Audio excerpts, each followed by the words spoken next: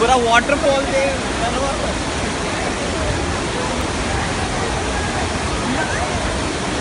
Victoria waterfall है। बाहर से पानी आ रहा है बाहर से। और इतना कितना उधर देख उधर। मुलुन स्टेशन हाँ? वही। एक सामने भी दिख रहे हैं मुलुन स्टेशन पहले अपन ये देख के आते हैं, बाद में घूमते आए